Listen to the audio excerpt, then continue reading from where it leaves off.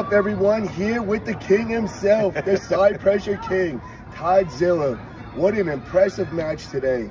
After seeing round one i was a little nervous. I thought it was going to be very one-sided with the gorilla corey west dominated and then Toddzilla showed up to the match. So uh, give us a little what was going on there bro? What happened that first round? And then first match we ended up wrist to wrist and i couldn't slow him down. I, I mean even wrist to wrist I thought I'd stop him, but that's a lot of power. I mean, I went straight down and I couldn't even put the brakes on him. So what was the adjustments you made for round two? Because I just gripped higher.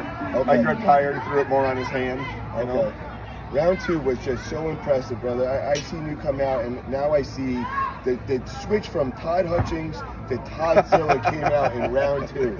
That was the most official thing I've ever seen. And I gotta admit, for the small guys over here, that was very inspiring, brother. That was a true David versus Goliath match right there.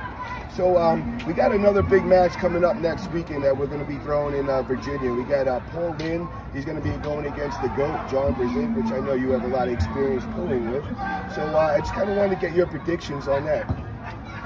Well, you never go against John. Paul, Paul will certainly win a match. Um, does he win three? Winning three is hard on John. Winning one, winning one is a colossal feat. When I won one, it took me years to win the second one. Okay. Um, I would, I think, uh, I'll, I'll give you 90-10 odds. Paul wins one. It's 50-50. Paul wins two, and it's 10 to 90. Paul wins three. Okay. Is there any kind of uh, advice that you could give Paul right now, since you do have some experience pulling John? So tell John exactly how to pull Paul. Yeah. Okay, to shut him down. yeah. Paul, uh, I don't know. After seeing John pull Dimitri, yeah, where John's just go sideways with, with his hand bent back, I don't know. I don't know what to counsel anymore, right? Because okay. John's like the hand control master, and, and, now, and he's willing to pull through his elbow. So that's a dangerous John.